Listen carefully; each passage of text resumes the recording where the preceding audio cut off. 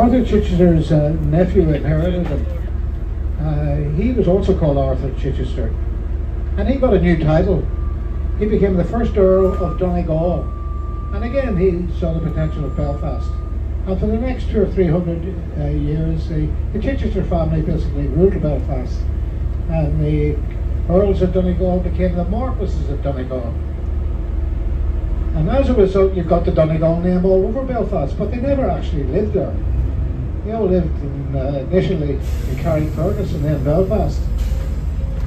And as a result, you've got Donegal Square, Donegal Pass, Donegal Road, Donegal Park, Donegal Avenue, Donegal Quay, Donegal Park Avenue, Donegal. This goes on and on. And this is Donegal Square. And that building on the right there is uh, the City Hall. That opened to the public on the uh, 1st of August 1906. New City Hall for a new city. Belfast is a very young city by European standards. Beginning of the 19th century in 1800, they had a population of about 20,000, so it was a sizable town. But uh, by the end of the 19th century, that town of 20,000 had become a city of 320,000 uh, charter was granted by Queen Victoria in 1888, making Belfast a city. There was a reason for that rapid growth. Belfast experienced something that the rest of Ireland didn't experience to the same degree. That was the Industrial Revolution. Belfast City is a child of the Industrial Revolution. The City Hall was built by an architect called Alfred Brumwell Thomas from uh, North Surrey, little place called Virginia Water. He got a knighthood for his troubles. And Belfast City Hall actually has a replica. There was a, a South African architect was over here. His name was St Stanley Hudson back in the 1920s. He very much admired uh, Belfast City Hall and its uh, Baroque revivalist style. Made a few sketches and he went back to his hometown of Durban, Natal, KwaZulu, and he got the contract to build the Durban City Hall, or Town Hall as it was in those days. And uh, he built it as a uh, replica of Belfast City Hall. And you could Google that. But Belfast, as I say, it's a fairly young city. It's a Victorian city, basically. The name Belfast, well, that comes from the name of a river called the Farset River and you're probably thinking, well, Belfast doesn't sound like Farset. But it's through the Irish for Belfast.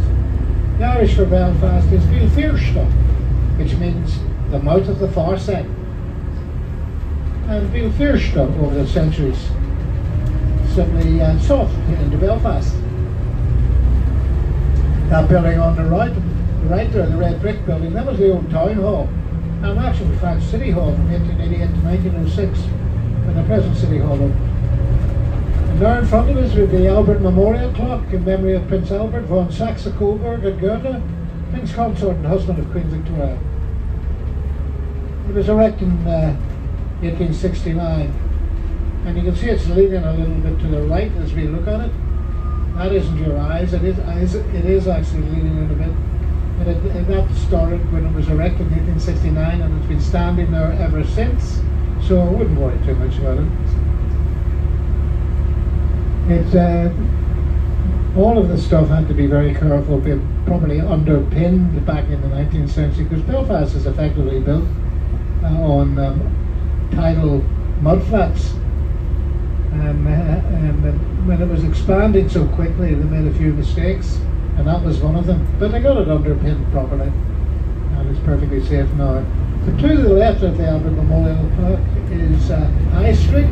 That used to be Belfast Dock. Where the ships used to tie up. And underneath High Street is a river called the Farset River, being Feirste, the mouth of the Farset. And we're doing it right now, past the Albert Memorial Clock, down towards the River Lagan, which is the main river in Belfast. Divides uh, two counties to the way, the Lagan is effectively the border between County Antrim, where we are now, and County Down, where we're going.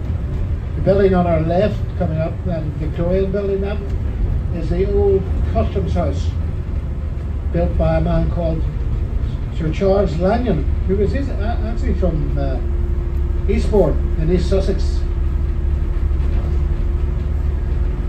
Come over here to uh, survey the, the, construction of the Antrim Coast Road, A2. Still a very popular road. But he turned to architecture, uh, married a local girl, and spent the rest of his life here. Built stuff all over Ireland, but mainly in uh, the north here. Queen's uh, University's old college building, Customs House here, Belfast Castle, which isn't a castle by the way. It's called Belfast Castle because it's built in Scottish baronial castle style. Now we just passed the big fish, you probably noticed it over there over your left shoulder. That's a commemoration of the uh, relivening of the River Lagan. The River Lagan was a dead river for many years because of industrial pollution.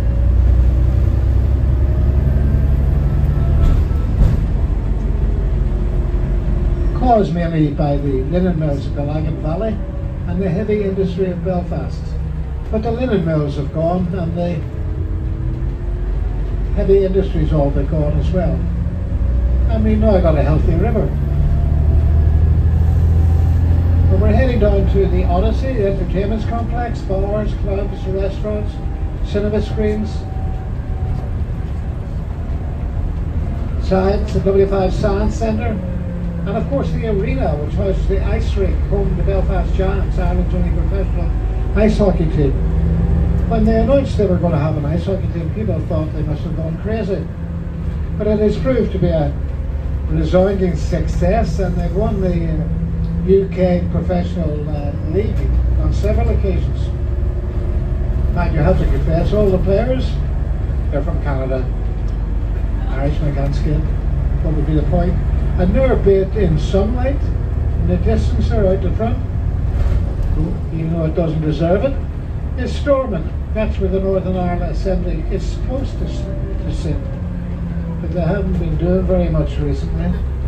But they're still getting paid for things. But we're turning left now onto what is traditionally known as Queen's Island. It's more popularly called the Titanic Quarter nowadays. But this is where Harland and Wolff is based, one of the biggest shipyards in the world at one time. The company responsible for the Titanic and our, her sister ships. A lot of people think the Titanic was a one-off, but she wasn't. She was one of three Olympic-class liners. First one to be launched in 1909 was the Olympic.